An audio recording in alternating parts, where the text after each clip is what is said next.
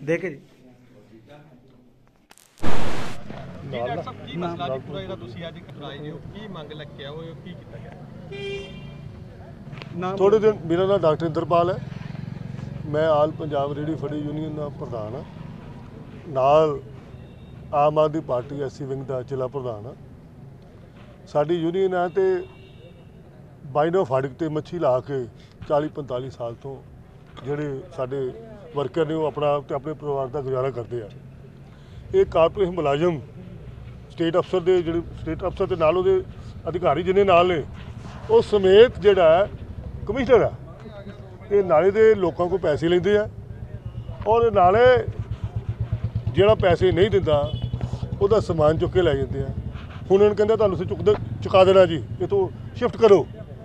ਠੀਕ ਹੈ? ਨੰਬਰ 2 ਜੇ ਉਹ ਸਬੰਧ ਦੇ ਵਿੱਚ ਉੱਥੇ ਆਏ ਸੀਗੇ, ਅਸੀਂ ਮਿਲੇ ਸਟੇਟ ਅਫਸਰ ਆਏ ਉੱਥੇ ਆਪਣਾ ਨਾਇਬ ਤਹਿਸੀਲਦਾਰ ਮੈਡਮ ਆਏ ਉਹਨਾਂ ਕਿਹਾ ਵੀ ਤੁਹਾਨੂੰ ਟਾਈਮ ਦੇ ਦਿੰਦੇ ਆ ਤੇ ਤੁਸੀਂ ਇੱਥੇ ਆ ਕੇ ਕਮਿਸ਼ਨਰ ਸਾਹਿਬ ਨੂੰ ਮਿਲੋ। ਜੇ ਕਮਿਸ਼ਨਰ ਸਾਹਿਬ ਨੂੰ ਦੋ ਦਿਨ ਪਹਿਲਾਂ ਮਿਲੇ ਆ ਸ਼ੁੱਕਰਵਾਰ ਤੇ ਉਹਨਾਂ ਦੀ ਵੇ ਆਫ ਟਾਕਿੰਗ ਜਾਨੋ ਮਾਰ ਦੀਆਂ ਧਮਕੀਆਂ ਸਾਨੂੰ ਦੇ ਰਹੇ ਆ। ਜਾਨੋ ਮਾਰ ਧਮਕੀਆਂ ਦੇ ਰਿਹਾ ਔਰ ਨਾ ਤੁਹਾਨੂੰ ਨਜਿੱਠਾਂਗੇ ਇਹ ਗੱਲਾਂ ਕਹਿ ਕੇ ਤੇ ਗੱਲ ਕਰਦੇ। ਕਹੀ ਜਾ ਰਹੀ ਹੈ ਇਹ ਗੱਲ? ਇਹ ਕਾਰਪੋਰੇਟ ਕਮਿਸ਼ਨਰ ਨੇ ਕਿਹਾ ਮੈਨੂੰ ਆਪ ਕਿਹਾ ਯਾਰ। ਹਾਂ ਕਹਿੰਦਾ ਵੀ ਤੁਸੀਂ ਪ੍ਰੈਸ ਨੂੰ ਨਾਲ ਲੈ ਕੇ ਕਿਉਂ ਆਏ ਹੋ? ਸ਼ਹਿਰ ਦੇ ਵਿੱਚ ਇੰਨੀ ਹਫਤਾ ਵਸੂਲੀ ਕੀਤੀ ਜਾ ਰਹੀ ਹੈ ਕਾਰਪੋਰੇਸ਼ਨ ਤੋਂ। ਚਾਹੇ ਐਮਟੀਪੀ ਡਿਪਾਰਟਮੈਂਟ ਹੈ, ਜਿਹੜਾ ਤੇ ਇਹਨਾਂ ਨੂੰ ਪੈਸੇ ਦੇ ਦਿੰਦਾ ਉਹ ਠੀਕ ਹੈ। ਜਿਹੜਾ ਪੈਸੇ ਨਹੀਂ ਦਿੰਦਾ, ਉਹਦੇ ਜੇ ਕੋਈ ਮਕਾਨ ਬਣਾ ਰਿਹਾ ਉਹਦਾ ਮਕਾਨ ਸੁੱਟ ਦਿੰਦੇ ਆ। ਤੁਸੀਂ ਤੇ ਸਰਕਾਰ 'ਚ ਜੇ ਭਗਵੰਤ ਮਾਨ ਵੱਲੋਂ ਦਾਅਵੇ ਕੀਤੇ ਜਾਂਦੇ ਕਿ ਇਸ ਤਰ੍ਹਾਂ ਦਾ ਕੋਈ ਕੇਸ ਆ ਉਹ ਸਾਨੂੰ ਕੋ ਭੇਜੋ। ਤੁਸੀਂ ਇੱਥੋਂ ਦੀ ਜਾਣ ਦੀ ਬਜਾਏ ਭਗਵੰਤ ਮਾਨ ਉਹਨਾਂ ਨੂੰ ਇਹਨਾਂ ਦੀ ਵੀਡੀਓ ਜਾਂ ਆਡੀਓ ਬਣਾ ਕੇ ਕਿਉਂ ਨਹੀਂ ਭੇਜਦੇ? ਕਿ ਦੇਖੋ ਗੱਲ ਇਹ ਹੈ ਵੀ ਸਭ ਤੋਂ ਪਹਿਲਾਂ ਪ੍ਰਸ਼ਾਸਨ ਨੂੰ ਆਪਾਂ ਜਿਤਾਉਣਾ।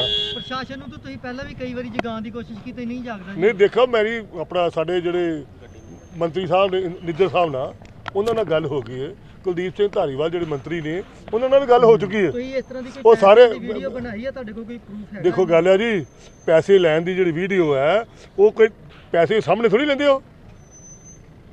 ਪੈਸੇ ਜਿਹੜੀ ਰਿਸ਼ਵਤ ਹੈ ਉਹਦੀ ਕੋਈ ਵੀਡੀਓ ਬਣਾ ਦਿੰਦਾ।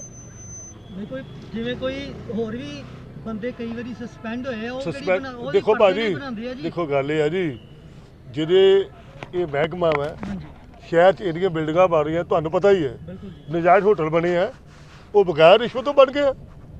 ਕਿੰਨੇ ਪੈਸੇ ਮੰਗ ਕਰਦੇ ਨੇ? ਕਿੰਨੇ ਕ ਪੈਸੇ ਆ ਜਿਹੜੇ ਅ, ਦਿਹਾੜੀ 2000 ਵਾਲੇ ਰੁਪਏ ਮਹੀਨਾ ਦੇ ਕੋਈ ਇਹਨਾਂ ਨੂੰ ਕਹਿੰਦੇ ਦਿਓ ਸਾਨੂੰ। ਸ਼ਹਿਰ ਦੇ ਕਿਹੜਾ ਰੇੜੀ ਵਾਲਾ ਵਾ ਕਿਹੜਾ ਇਲਾਕਾ ਵਾ ਕਿ ਜਿਹੜਾ ਪੈਸੇ ਜਿਹੜਾ ਹੈ ਉਹ ਨਹੀਂ ਉਹਨਾਂ ਕੋਲ ਲੈਂਦੇ। ਜਿੰਨੇ ਨੇ ਉਹਨਾਂ ਨੂੰ ਤੰਗ ਕਰਦੇ ਆ। ਚਲੋ ਜਦ ਕਹਿੰਦੇ ਕਮਲ ਮੇਰੀ ਬੇਨਤੀ ਸੁਣੋ ਜੀ। ਤਾਂ ਪਹਿਲਾਂ ਮੇਰੀ ਮੇਰੀ ਬੇਨਤੀ ਸੁਣੋ ਜੀ ਕੋਈ ਸਰਕਾਰੀ ਪਰਚੀ ਨਹੀਂ। ਮੈਂ ਟਾਊਨ ਵੈਂਡਿੰਗ ਕਮੇਟੀ ਦਾ ਮੈਂਬਰ ਆ ਹਾਂਜੀ। ਟਾਊਨ ਵੈਂਡਿੰਗ ਜ਼ੋਨ ਅਜੇ ਤੇ ਸਿਲੈਕਟ ਨਹੀਂ ਹੋਏ।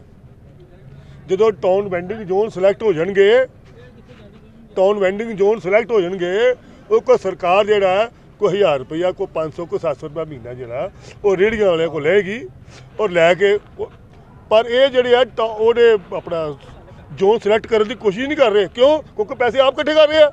ਕਿਉਂਕਿ ਅਸੀਂ ਚਾਹੁੰਦੇ ਆ ਕਿ ਜਿਹੜੇ ਪੈਸੇ ਨੇ ਉਹ ਸਰਕਾਰ ਦੇ ਖਾਤੇ ਜਾਣ ਜਿਹੜੀਆਂ ਸਰਕਾਰੀ ਤਨਖਾਹਾਂ ਨੇ ਉਹਨਾਂ ਨੂੰ ਬਿਲਕੁਲ ਮਿਲ ਸਕਣ। ਚਲੋ ਇਹ ਜੀ ਭਰਾ ਵਾ ਸਾਰੇ ਜਿਹੜੇ ਆਏ ਆ। ਹਾਂ। ਪਰ ਇਹਨਾਂ ਦੀ ਰੇੜੀਆਂ ਤੇ ਸ਼ਾਮ ਦੇ ਟਾਈਮ ਵੇਖੀਦਾ ਕਿ ਦੁਨੀਆ ਸ਼ਰਾਬ ਪੀ ਜਾਂਦੀ ਆ ਲੋਕਾਂ ਨੂੰ ਲੰਘਣਾ ਵੀ ਬੜਾ ਔਖਾ। ਉੱਥੇ ਟ੍ਰੈਫਿਕ ਜਾਮ ਹੋ ਜਾਂਦੀ। ਮੈਂ ਕਾਫੀ ਵਾਰੀ ਉਧਰੋਂ ਲੰਘਿਆ ਵਾਂ। ਅੱਛਾ ਜੀ। ਤੇ ਰਸਤੇ ਦੇ ਵਿੱਚ ਜਿਹੜੀਆਂ ਗੱਡੀਆਂ ਵਾ ਫਾਟਕ ਬੰਦ ਤੋਂ ਵੀ ਮੋਟਰਸਾਈਕਲ ਲੰਘ ਜਾਂਦੇ ਨੇ। ਹਾਂਜੀ। ਰਸਤੇ ਦੇ ਵਿੱਚ ਜਦੋਂ ਗੱਡੀਆਂ ਲੱਗ ਜਾਂਦੀਆਂ ਵਾ ਰੇੜੀਆਂ ਤੇ ਸ਼ਰਾਬ ਪਿਆਉਂਦੇ ਉਹ ਕਿੰਨੀ ਕੁ ਜਾਇਜ਼ ਆ ਜੀ? ਜੇ ਸਾਡੇ ਇਹ ਮੇਰੀ- ਭਰਾ ਵਾ ਜਿਹੜੇ- ਦੇਖੋ ਜੀ ਜਿਹੜੇ ਆ ਸਾਡੇ ਆ ਇਹ ਮੱਛੀ ਲਾ ਕੇ ਕੱਟ ਕੇ ਵੇਚਦੇ ਆ। ਓਕੇ। ਜੀ ਜਿਹੜਾ ਸ਼ਰਾਬ ਇੱਕ ਵਾਰ ਜੀ ਪਹਿਲਾਂ ਮੇਰੀ ਬੇਨਤੀ ਸੁਣੋ ਜੀ। ਜਿਹੜਾ ਸ਼ਰਾਬ ਪਿਉਂਦਾ ਹੈ, ਉਹ ਤੇ ਪੁਲਿਸ ਕਾਰਵਾਈ ਕਰੇ ਆਪਾਂ ਇਹ ਥੋੜੀ ਕਹਿੰਦੇ ਕਾਰਵਾਈ ਨਾ ਕਰੇ। ਜਿਹੜਾ ਗਲਤ ਕੰਮ ਕਰੇਗਾ ਉਹ ਤੇ ਕਾਰਵਾਈ ਹੋਣੀ ਚਾਹੀਦੀ ਹੈ। ਔਰ ਹੋਵੇ ਇਹ ਜਿਹੜੇ ਵਿਚਾਰੇ ਕੱਚੀ ਬੱਚੀ ਵੇਚਦੇ ਆ ਪਿਓ ਦਾਦੇ ਤੋਂ ਵੇਚਦੇ ਆ ਖੁਦੇ ਥੋੜੀ। ਬਿਲਕੁਲ ਬਿਲਕੁਲ। ਉੱਥੇ ਉਹ ਸੁਣੋ ਭਾਜੀ ਦੇਖੋ ਦੇਖੋ ਭਾਜੀ। ਗੱਲ ਇਹ ਹੈ ਜਿਹੜਾ ਗਲਤ ਕੰਮ ਕਰੇਗਾ ਉਹਨੂੰ ਭੁਗਤਣਾ ਪਏਗਾ। ਇਹ ਜਿਹੜੇ ਸਾਡੇ ਵਿਚਾਰੇ ਰੇੜੀ ਵਾਲੇ ਨੇ ਫੜੀ ਵਾਲੇ ਨੇ ਉੱਥੇ ਕੋਈ ਟ੍ਰੈਫਿਕ ਦੀ ਸਮੱਸਿਆ ਨਹੀਂ। ਅਸੀਂ ਸਫ਼ਾਈ ਦਾ ਪੂਰਾ ਧਿਆਨ ਰੱਖਦੇ ਹਾਂ। ਫਿਰ ਵੀ ਸਾਨੂੰ ਪਰੇਸ਼ਾਨ ਕੀਤਾ ਜਾ ਰਿਹਾ। ਅਸੀਂ ਪ੍ਰਸ਼ਾਸਨ ਨੂੰ ਪੰਜਾਬ ਸਰਕਾਰ ਨੂੰ ਮੰਗ ਕਰਦੇ ਹਾਂ ਕਿ ਜਿਹੜੇ ਜ਼ੋਨ ਬਣਾ ਕੇ ਸਾਡੇ ਕੋਲ ਜੋ 500 700 ਰੁਪਏ ਮਹੀਨਾ ਜਿਹੜਾ ਲੈਣਾ ਉਹ ਲਓ।